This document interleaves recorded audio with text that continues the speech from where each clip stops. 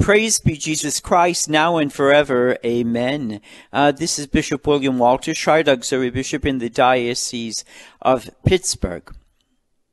A number of years ago, uh, a very wise and holy priest said to me, The church will not be renewed until we stop treating the Blessed Sacrament like a thing and start treating the Blessed Sacrament like a person.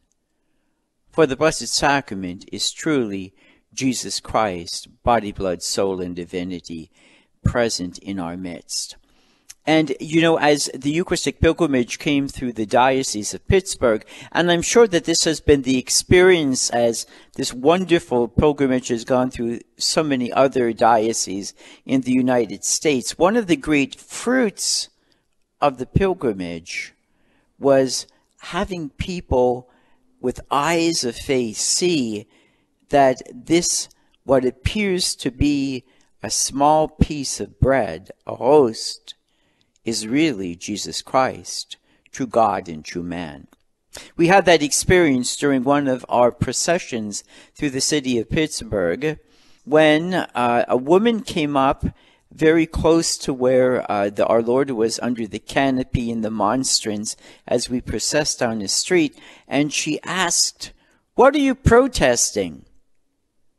And one of the sisters who was with us, who had accompanied the Eucharistic pilgrimage, said, Oh, we're not protesting, we're praising, because this is Jesus Christ.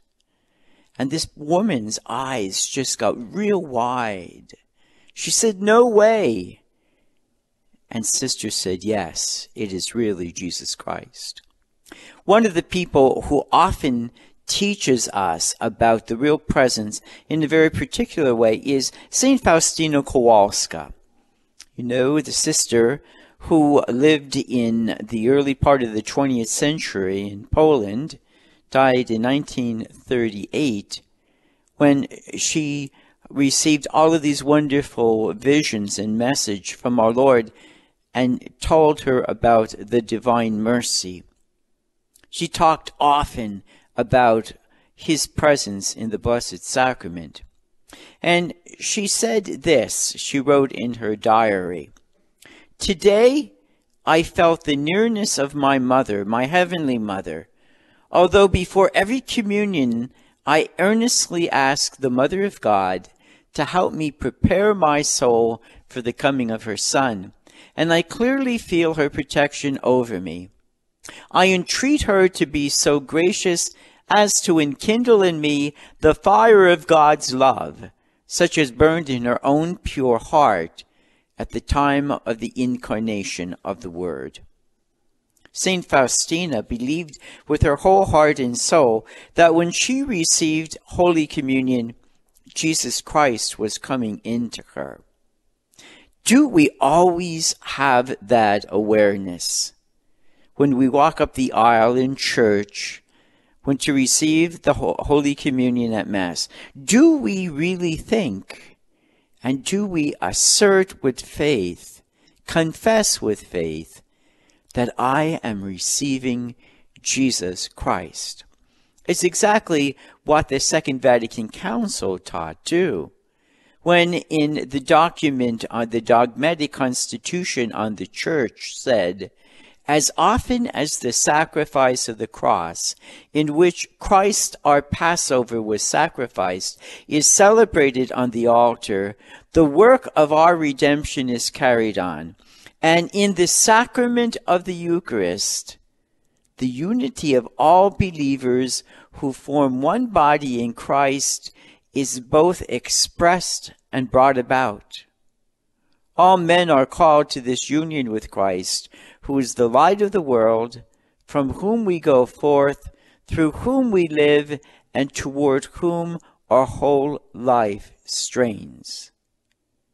The Blessed Sacrament must be Jesus Himself to make this happen. That we are bound with Him as we receive his body and blood in Holy Communion, and then we are bound with one another in his mystical body, the Church.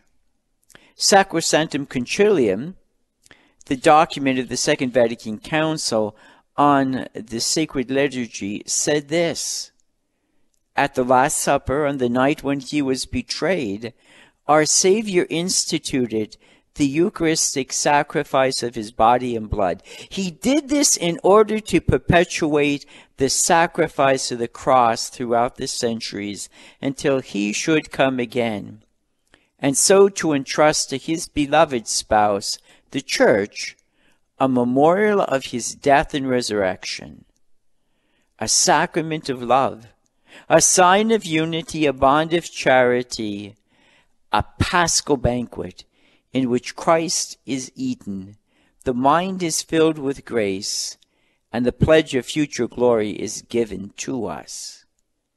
It is at the Mass, that is, his sacrifice of the cross, and also the banquet of his body and blood, in which we receive Jesus Christ, not just a symbol of him, not just some distant remembrance of him, but the living, dynamic presence of Jesus Christ. St. Faustina recognized that, believed it, confessed it. All of the saints throughout the centuries believed and confessed it. The fathers of councils, the doctors of the church, all the popes believe and confessed that Jesus is truly present on the altar, and that he who died for us, offering himself to the Father as the victim for our sins, then with incredible love and mercy offers himself to us in the most blessed sacrament. It is Jesus himself truly present.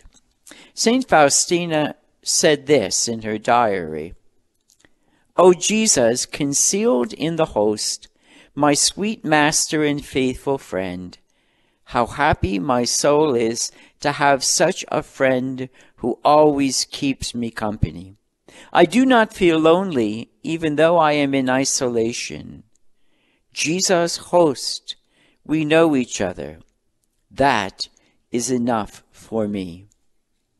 Dear brothers and sisters, the next time we go to Mass and we walk toward the altar to receive our Lord in the most blessed sacrament, and when the person who gives us Jesus holds the host up, let us look at the host and pray from our hearts, Jesus, I believe this is you. I adore you I love you. I thank you.